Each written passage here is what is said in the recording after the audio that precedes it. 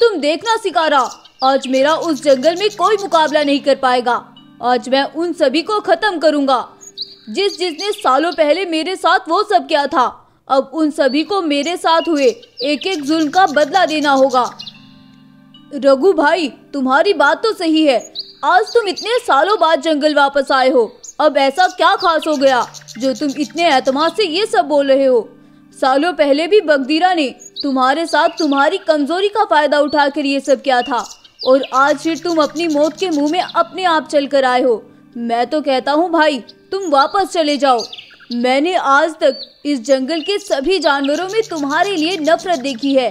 और आज जब वो तुम्हें इस जंगल में देखेंगे तो बगदीरा तुम्हारे साथ ना जाने क्या करेगा? वो अब कुछ नहीं कर पाएगा। अब मैं उसके हर वार के लिए तैयार हूँ। तब मैं कमज़ोर था। लेकिन अब इस जंगल का कोई एक जानवर भी और खुद बगदीरा भी मेरा बाल भी बाका नहीं कर सकता। अब उसे सालों पुरानी दुश्मनी के हर एक जुल्म का हिसाब देना होगा और मैं अपना हिसाब पूरा करूँगा। आखिर कौन है ये शेर जो कि बदले की आग में बगदीरा शेर के जंगल की ओर बढ़ रहा है? चलिए जानते हैं। दरअसल, आज से सालों पहले रघु शेर एक बहुत ही कमज़ोर शेर था। दरअसल, बचपन में ही उसके माता पिता का ना जाने किसने कत्ल कर दिया था और वह बेचारा बचपन में ही अकेला पड़ गया था। और जब उसने अपने माता पिता की लाश को अपने सामने देखा तो वो तो जैसे पागल हो गया था। माँ बाबा, आपको क्या हो गया? और ये खून? माँ माँ, उठे माँ। बाबा, मैं आपके बिना कैसे रहूँगा? वो दिन रघु की ज़िंदगी का एक ब्लैक डे की जैसा था। उस दिन के बाद रघु हर किसी से डरने लगा। अब तो उसे शिकार करने से भी डर लगता था, क्योंकि जब भी उसे खून दिखाई देता था तो वो बहुत डर जाता था और वहाँ से भाग जाता था। खून खून खून खून, मुझे बचाओ कोई मुझे बचाओ, खून खून! अरे बुद्धू शेर, क्या हुआ? तेरा अब रोज का हो गया है।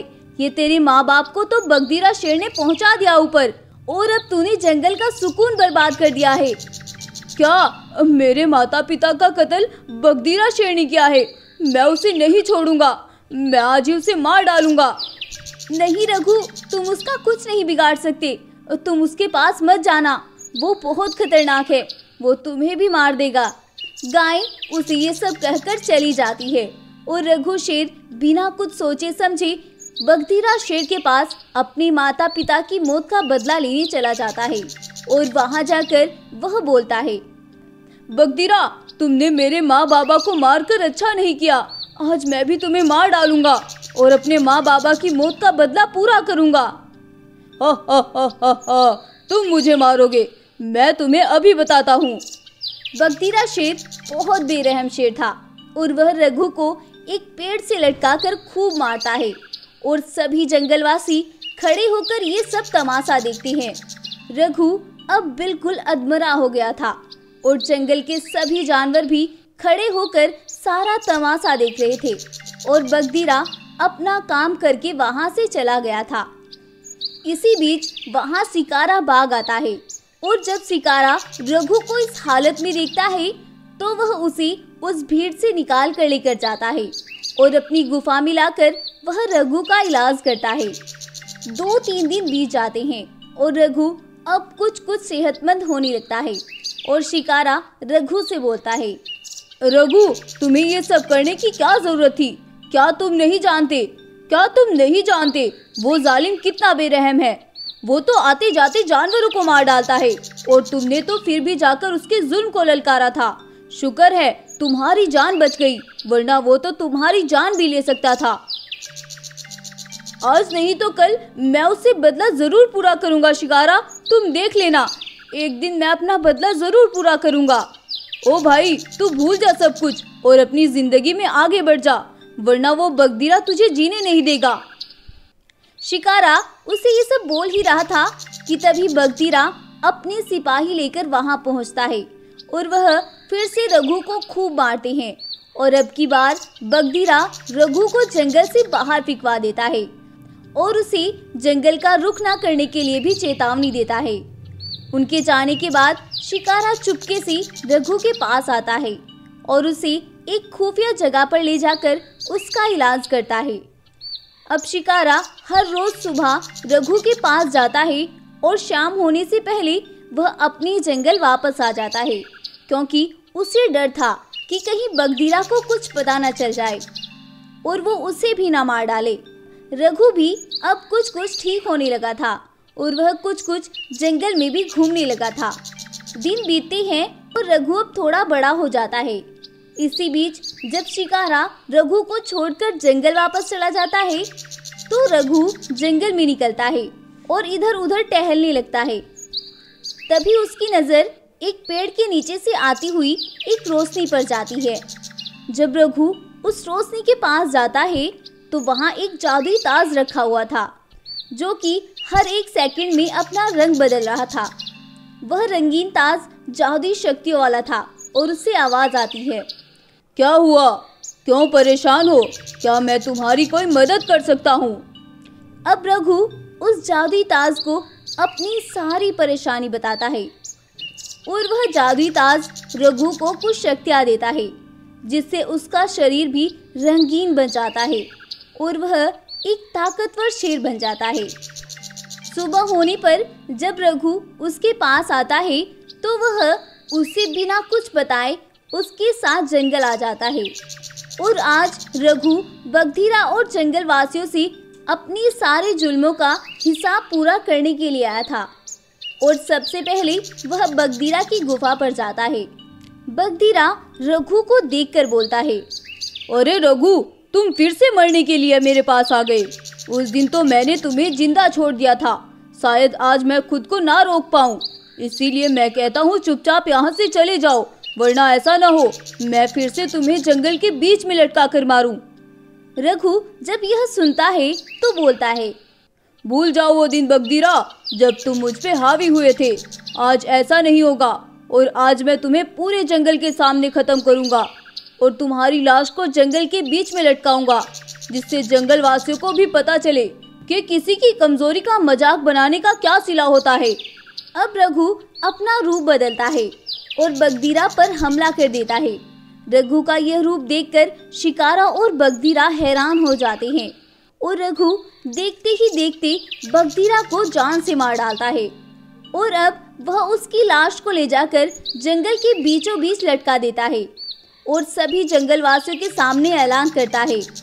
कुछ दिनों पहले तुम जंगल वासियों ने मेरा ऐसा ही तमाशा बनाया था। और आज देखो, मैंने इस बगदीरा का क्या हशर किया है। और उस दिन जंगल के किसी भी जानवर ने मेरा साथ नहीं दिया था। जबकि मैं अपने हक पर था और ये बगदीरा मेरा मुजरिम था। लेकिन देखो, कुदरत ने मेरा साथ दिया और मुझे इतनी ताकत दी कि मैं इसका मुकाबला कर सकूँ। अगर उस दिन जंगल के किसी जानवर ने मेरा साथ दिया होता तो मैं इसे उसी दिन मौत के घाट उतार देता। मैं चाहूँ तो मैं तुम सबको खत्म कर सकता हूँ, लेकिन मैं ऐसा नहीं करूँगा। मेरा मुजरिम बगदीरा था, और मैंने उसे मार दिया, और जाओ तुम्हें माफ़ किया। यह सब बोलकर रघु और शिकारा वापस आते हैं, और अब रघु शिकारा को सारी बात बताता है। शिकारा ये सब सुनकर बहुत खुश होता है। अगली सुबह होती है और जंगल के सभी जानवर रघु से माफ़ी मांगने उसकी गुफा पर आते हैं। सभी जानवर एक साथ रघु से माफ़ी मांगते हैं और उसे जंगल का राजा बनने का बोलते हैं। अब रघु सभी जंगल वासियों को माफ़ कर देता है और जंगल की राजगद्दी को संभाल कर जंगल में खुशी खुशी रहने लगता है। इस कहानी से हमें सीख मिलती है, हमें कभी किसी की कमज़ोरी का मज़ाक नहीं बनाना चाहिए। वरना कुदरत बहुत बड़ी है, जो कि एक पल में कुछ भी बदल सकती है। तो गाइस आपको यह कहानी कैसी लगी? हमें कमेंट करके ज़रूर बताएँ। और अगर आपको स्टोरी पसंद आई है तो प्लीज़ इस वीडियो को लाइक करें शेयर करें और हमारे चैनल को भी सब्सक्राइब कर लें। थैंक यू भाई, तुम मुझे कहाँ लेकर जा रही हो? आगे तो बहुत अंधेरा है। मुझे तो कुछ भी दिखाई नहीं दे रहा है। अब मुझे बहुत डर लग रहा है भाई। अरे, तुम क्यों घबरा रही हो? मैं हूँ ना तुम्हारे साथ। फिर तुम क्यों डर रही हो? भाई, मैं तो पीछे का रास्ता भी भूल गई। हम कहाँ से होकर आए हैं? अगर हम दोनों इस घने अंधेरे में अलग हो गए तो मैं कहाँ जाऊँगी भाई? आप पीछे वापस चले। तभी देखते ही देखते उसका भाई ना जाने कहाँ गायब हो जाता है।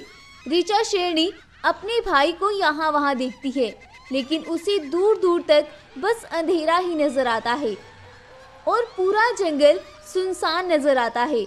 ऋचा शेरनी बेचारी अपने भाई को इधर उधर तलाश करती है, मगर उसे कहीं भी वो नज़र नहीं आता है और वो चलते चलते एक और भी सुनसान जगह में पहुँच जाती है। वो जंगल बहुत ही घना और डरावना था। उस जंगल से हर तरफ़ से कुछ अजीब सी आवाज़ें आ रही थी। ऋचा शेरनी इन आवाजों को सुनकर बहुत डर जाती है। कौन है? प्लीज़ मेरी कोई मदद करो। मैं अपने भाई से बिछड़ गई हूँ। प्लीज़ मेरी कोई मदद करो, प्लीज़। तभी उस रास्ते से होती हुई एक शेरनी वहाँ से गुजरती है।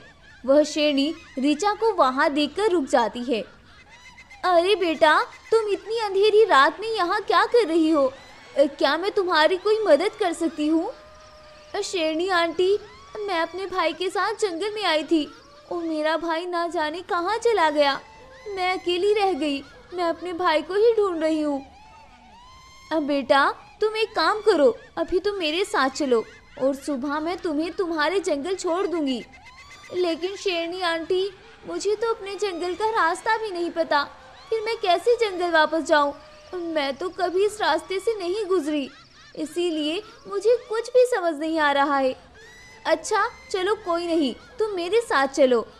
अब शेरनी ऋचा को अपने घर लेकर आती है। ऋचा शेरनी जब शेरनी की हवेली देखती है तो दंग रह जाती है। वह शेरनी सुंदरवन जंगल की महारानी थी, और वो एक बहुत अमीर शेरनी थी। इतनी अलीशान हवेली को देखकर ऋचा खुश होती है, और वह बोलती है रानी शेरनी, क्या ये आपका घर है? हाँ बेटा, ये मेरा ही घर है। लेकिन बदकिस्मती की बात है कि मैं इतनी आलिशान हवेली में अकेली ही रहती हूँ। मेरी कोई संतान नहीं है बेटा। अरे रानी शेरनी, आप ऐसा क्यों बोल रही हैं? आपके पास इतनी धन दौलत है, फिर भी आप उदास हैं। मेरे पास देखो कुछ भी नहीं है, और तो और मेरी माँ भी नहीं है। मेरी माँ मेरे पैदा होने के कुछ घंटों बाद ही मर गई थी। और कुछ दिन मेरे पिता ने मेरा बहुत ख्याल रखा और फिर एक दिन मेरे पिता ने जंगल की ही एक शेरनी से शादी कर ली। मैं अपनी माँ को देखकर बहुत खुश थी, लेकिन उनका बर्ताव मेरे साथ बिल्कुल भी अच्छा नहीं है। वो पूरा दिन मुझसे जंगल के काम करवाती है और बोलती है, अगर तुमने अपने पिता को ये सब बताया तो मैं तुम्हें जान से मार दूँगी। लेकिन माँ जी, आप ये सब क्यों करती हैं? मैं आपको दिल से अपनी माँ मानती हूँ। फिर भी आप मेरे साथ ये सोतेला सलूक क्यों करती हैं? चुप कर और चुपचाप जाकर मेरे लिए खाना लेकर आ। अगर मैंने कभी उन्हें मना किया तो वो मुझे खूब मारती हैं। मेरे पिताजी पूरा दिन मेहनत करते हैं और शाम को आकर वो सो जाते हैं। उन्हें कुछ भी नहीं पता, मैं उस घर में एक एक पल कैसे गुजारती हूँ। मेरी सोतेली माँ मेरे साथ बहुत बुरा सलूक करती है। क्या? वो तुम्हारे साथ ये सब करती है?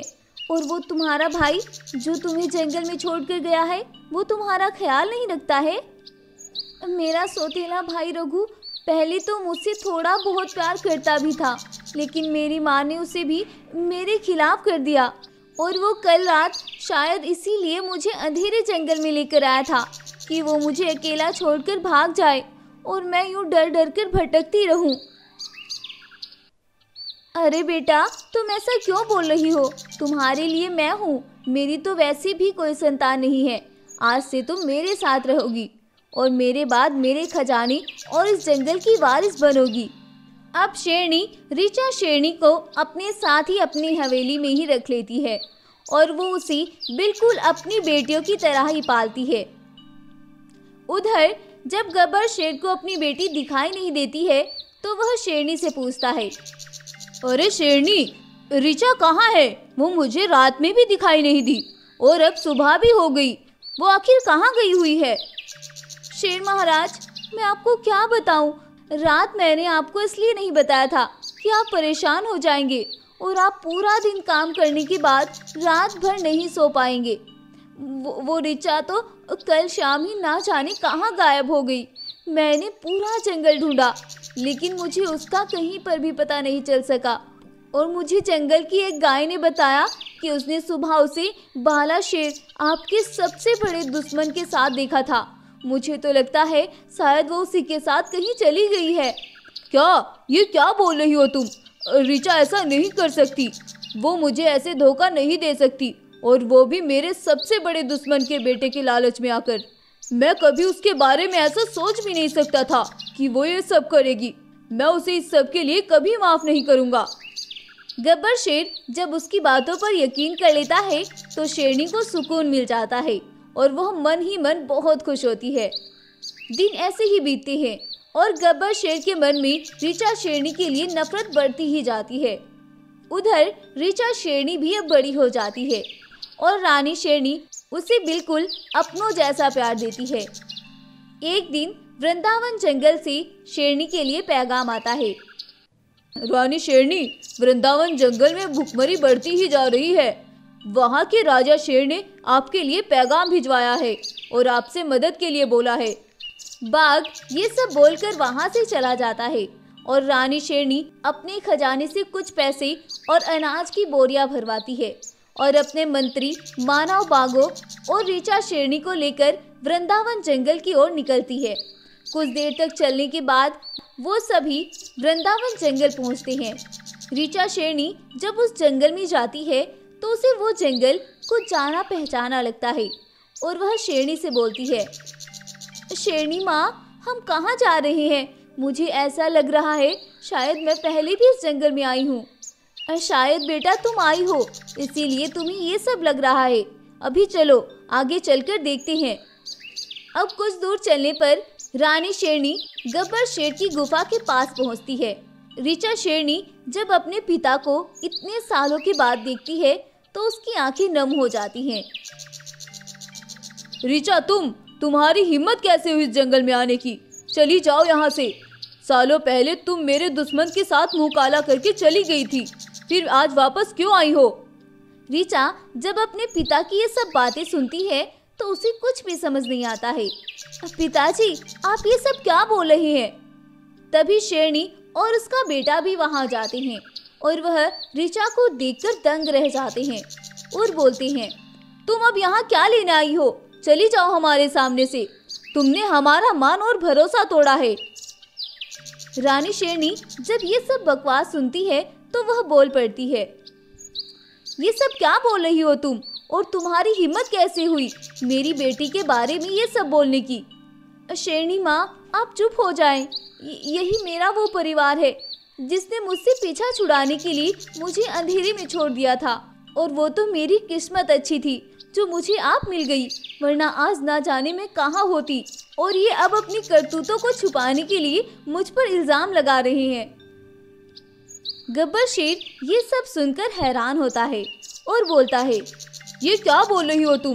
तुम हमें छोड़कर गई थी। वो भी हमारे दुश्मन के साथ। हमने तुम्हें कभी नहीं छोड़ा। भला कोई बाप अपनी बेटी को छोड़ सकता है? आपने सही कहा शेर महाराज, लेकिन आपने नहीं, बल्कि आपकी पत्नी ने इसे पराया किया था। अब रानी शेरनी शेर को उस दिन घटी सारी घटना की सच्चाई बताती है।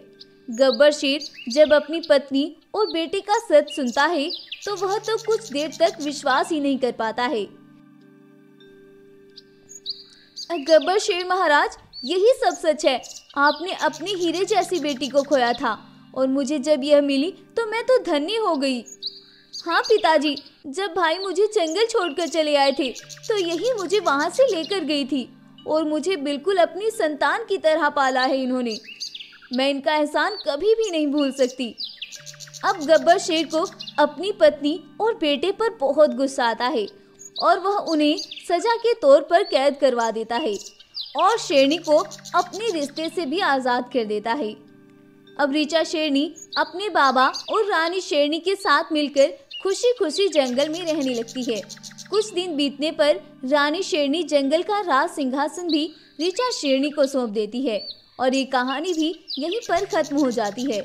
और इस तरह से शेरनी की चालाकियों का पर्दाफाश होता है।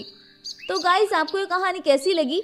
हमें कमेंट करके ज़रूर बताएँ। और अगर आपको ये कहानी पसंद आई है तो प्लीज़ इस वीडियो को लाइक करें शेयर करें और हमारे चैनल को सब्सक्राइब भी ज़रूर कर लें। थैंक यू गद्दार दोस्त ने की शेर के खजाने की चोरी और दो शेर भाई। भाई, पिताजी ने बोला है कि जल्द ही हमें जंगल से लौटना है। लेकिन ये तो बारिश बहुत तेज शुरू हो गई है। मैं तो कहता हूँ, जंगल वापस चलते हैं भाई। अरे ध्रुव भाई, अब तो थोड़ी ही दूर का सफ़र बचा है और जल्द ही हम पहाड़ी पर पहुँच जाएँगे। मैं तो कहता हूँ, चलते हैं और पिताजी का बताया हुआ काम करके जल्दी से वापस आते हैं। रघु और ध्रुव दोनों भाई नदी का रास्ता पार करते हुए एक खजाने की गुफा के पास पहुँचते हैं। अरे भाई, ये क्या? गुफा तो खाली है। सारा खजाना कहाँ गया? मैं क्या बताऊँ कहाँ गया? मैं भी अभी तुम्हारे साथ साथ आया हूँ। चलो जल्दी से जाकर पिताजी को इसकी खबर देते हैं भैया। अब वो दोनों भाई तेज बारिश से जूझते हुए अपने जंगल वापस आते हैं और राजा बलविंदर शेर को सारे खजाने की जानकारी देते हैं। क्या? ऐसा कैसे हो सकता है? उस गुफा के बारे में हम तीनों के अलावा किसी को भी नहीं पता था। फिर ऐसा कैसे हो सकता है?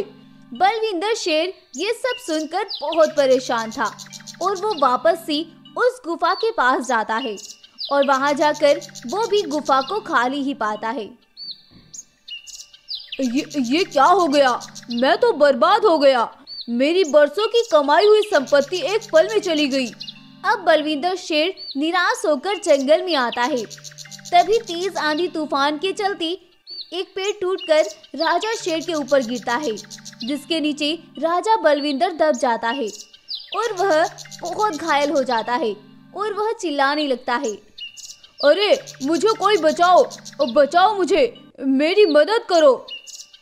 उसी समय बाला बाग भी तेज बारिश से बचता हुआ वहाँ से भागता हुआ चला जा रहा था। बाला बाग जब राजा शेर को वहाँ पेड़ से दबा देखता है तो वो उसे दौड़कर उस पेड़ के नीचे से बाहर निकालता है और उसे लेकर एक सुरक्षित जगह पर पहुँचता है। सुबह होती है और राजा बलविंदर शेर भी होश में आ जाता है। अब राजा बलविंदर शेर बाला बाग से बोलता है, तुम्हारा बहुत शुक्रिया बाला बाग अगर कल तुम न आते तो शायद आज मैं ज़िंदा भी ना बच पाता। तुम मेरे लिए भगवान का अवतार बनकर आए हो और तुमने मेरी जान बचाई।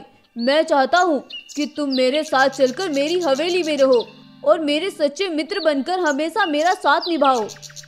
अब राजा बलविंदर शेर बाला बाग को लेकर अपनी गुफा में आता है और अपने बेटों को आकर सारी बात बताता है। पिताजी, हम कल से कितने परेशान थे और हमने आपको कहाँ कहाँ नहीं ढूंढा। शुक्रिया बाग अंकल, आपने हमारी मदद की और हमारे पिता की जान बचाई। अरे बेटा, ऐसा क्यों बोल रहे हो? ये तो मेरा फ़र्ज़ था और ये सब मैं कर सकता था, इसीलिए मैंने कर दिया। इसमें शुक्रिया की क्या बात है? ध्रुव और रघु बेटा, मैं तुम्हें बताना भी भूल गया। आज से बाघ अंकल हमारे साथ ही रहेंगे। जैसे इन्होंने हमारी मदद की, हमारा भी ये फ़र्ज़ बनता है कि हम भी इनके लिए कुछ ना कुछ करें। इसीलिए मुझे ये सब ठीक लगा और मैंने बाला बाग को हमारे साथ रहने को बोल दिया। ठीक है पिताजी, आपने बहुत अच्छा किया।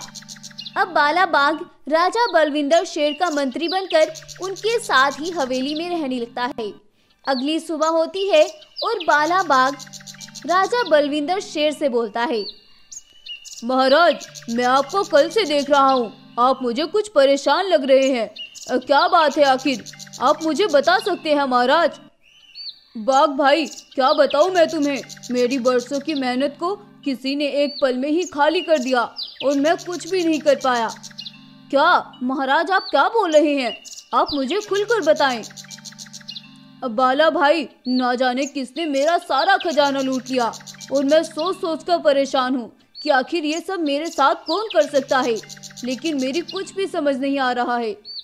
महाराज, कहीं आपका कोई दुश्मन तो नहीं? मुझे तो लगता है कि उसी ने ये सब करा होगा। अब राजा बलविंदर शेर अपनी सालों पुरानी दुश्मन याद करता है और वह बाला बाग को उसके बारे में बताता है। आज से दस साल पहले मेरा एक झगड़ा हुआ था, वो भी मेरे सच्चे मित्र से। तब भी मैं ऐसे ही बद्रीपुर जंगल का राजा था और मेरा एक बाघ दोस्त था, जिससे मेरी बचपन की गहरी दोस्ती थी। सभी जंगलवासी हम दोनों की दोस्ती की मिसालें देते थे। लेकिन एक दिन उसे ना जाने क्या हो गया और उसके मन में लालच आ गया और उसने मुझसे बोला, बलविंदर भाई, कल मैं गोदावर जंगल गया था और वहाँ की राजा शेर ने आपके लिए पैगाम भिजवाया है और उन्होंने आपको खाने के लिए आमंत्रित किया है। शायद उन्हें आपसे कोई ज़रूरी बात करनी है। लेकिन बद्री भाई, मैं कैसे जा सकता हूँ? शेरनी माँ बनने वाली है और उसे किसी भी टाइम मेरी ज़रूरत पड़ सकती है। फिर मैं कैसे जाऊँ? तुम जाकर अपने आप से पता कराओ। बलविंदर, मेरे दोस्त, मैंने राजा शेर को पहले ही ये सब बोल दिया था, लेकिन उन्होंने मुझे बताने से मना कर दिया और उन्होंने आपको ही बुलाया है। और तुम रानी शेरनी की फ़िक्र क्यों करते हो? उनके लिए मैं हूँ, तब तक उनका मैं ख्याल रखूँगा। ऐसा कहने पर मैं वहाँ से चला गया।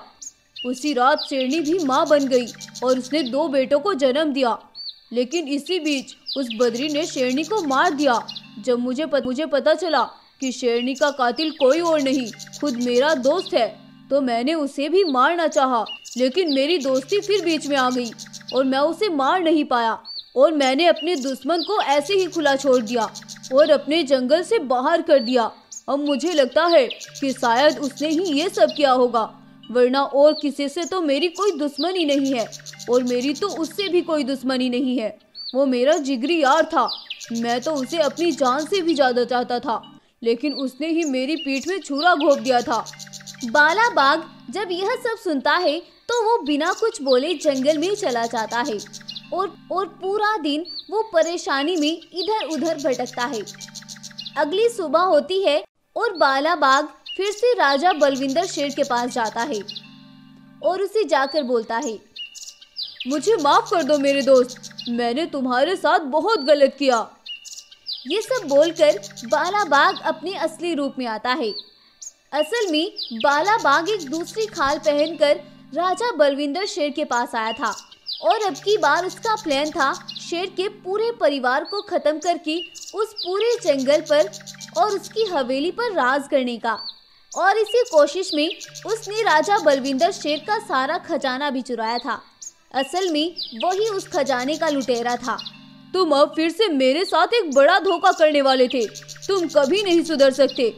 मैंने सोचा था कि तुम अब सुधर गए होंगे, लेकिन तुम्हारे मन में अभी भी नफरत भरी थी। बलविंदर मेरे भाई, मुझे माफ़ कर दो। मैंने ये सब जानबूझकर नहीं किया। असल में ये सब मुझसे करवाया गया और मुझे तुम्हारे खिलाफ भड़काया गया। दरअसल, जिस दिन तुम गोदावर जंगल गए थे उससे एक दिन पहले मैं चीतों की पहाड़ी गया था। वहाँ के चीते सरदार ने मुझे बताया था। अरे बद्री, तुम आज मेरे पास? खैर तो है। मैंने सुना है तुम दोस्ती पूरे मन से निभा रहे हो। हाँ यार, मेरा दोस्त है इस काबिल तो फिर क्यों ना निभाऊं? अरे, तुम्हें ये गलत फहमी है। कल मैंने उसकी बातें सुन ली थी, और वो रानी शेरनी को बोल रहा था कि वो तुम्हें जल्द ही मारकर अपने रास्ते से हटा देगा और फिर पूरे जंगल पर अकेला हुकूमत करेगा। ये सब सुनकर मुझे गुस्सा आ गया था। मुझे लगा कि तुम सच में मुझे मारने वाले हो। और जब कल मैंने तुम्हारी बातें सुनी तो मेरा दिल भर आया और मुझे एहसास हुआ कि मैंने अपने हीरे जैसे दोस्त को गलत समझ लिया था। मुझे माफ़ कर दो शेर दोस्त। बलविंदर शेर जब उन चीतों की चालाकी सुनता है तो वह बद्री को लेकर उनके पास जाता है। जब चीते उन दोनों को एक साथ देखते हैं तो घबरा जाते हैं और वहाँ से भागने लगते हैं। अरे, रुको रुको, इतनी जल्दी भी क्या है? अभी तो हम आए हैं। तुम्हें क्या लगा? तुम अपनी चालाकी से जंगल पर हुकूमत कर लोगे। मैंने तुम्हें उस दिन भी वार्न किया था, जब तुमने मेरे बेटों को मारने की कोशिश की थी। और तब तो तुम बच गए थे, लेकिन आज नहीं बच पाओगे। क्या? इन्होंने इतनी बड़ी हरकत भी की। आज तुम नहीं बचोगे। मैं तुम्हें मार डालूँगा। अब वो दोनों मिलकर उन सभी को मार डालते हैं और अपने बीच से असल दुश्मनी की दीवार को खत्म करते हैं और फिर से अपने जंगल वापस आते हैं। और फिर से सभी जंगल वासियों के सामने अपने फिर से एक साथ होने का ऐलान करते हैं। अब गब्बर शेर के दोनों बेटे भी बहुत खुश थे। और सभी जंगलवासी उन दोनों को फिर से जंगल का राजा स्वीकार करते हैं। और राजा बलविंदर शेर का सारा खजाना भी वापस आ जाता है। और वो सभी फिर से खुशी खुशी रहने लगती हैं। शीख, इस कहानी से हमें सीख मिलती है कि अगर दोस्ती सच्ची और साफ़ मन से निभाई जाए तो उसे कोई नहीं तोड़ सकता है। और दोस्ती एक ऐसा अटूट रिश्ता होता है, जो अपने सच्चे दोस्त के लिए कुछ भी कर गुजरता है। तो गाइस आपको ये कहानी कैसी लगी? हमें कमेंट करके ज़रूर बताएँ। और अगर आपको ये कहानी पसंद आई है तो प्लीज़ इस वीडियो को लाइक करें शेयर करें और हमारे चैनल को सब्सक्राइब भी ज़रूर कर लें। Thank you